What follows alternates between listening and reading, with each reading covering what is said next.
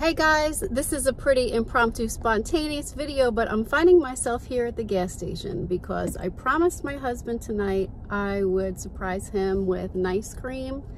Uh, actually, that doesn't even make sense how he can be surprised if he knows about it. But anyway, I don't have time to go to Whole Foods and get like gluten-free, you know, healthier cookies. So I'm just running in and it reminded me of my old bad habits of binging, the binging days where I could never have walked into this gas station without coming out with, uh, well, actually, I'll just show you. Come on in with me. There we go. I flipped it. We're going in. Let's see what we can find. Okay. All right. This was my aisle. They were all my aisle. Let's see.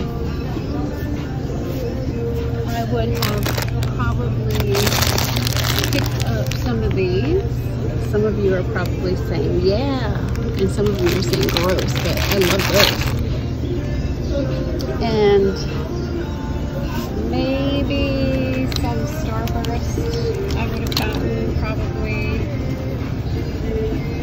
And let's see what's over here. Oh my god, these were my absolute favorite. the orange jelly slices. I probably would have gotten that. And then I would have thought, okay, that's enough sugar. I need something with salt now. Okay, here we go.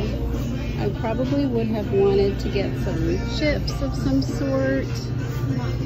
And then I would say, oh, but I have no chocolate. Nothing is chocolate. So these were my favorites and I would get that. And then I would go home and I would just eat most of it in one sitting. I know, gross. But we're here for one thing. I'm only getting one thing. I am happy to report I left the gas station without incident and for more recipes, health tips, inspiration, visit eatpraygetwell.com.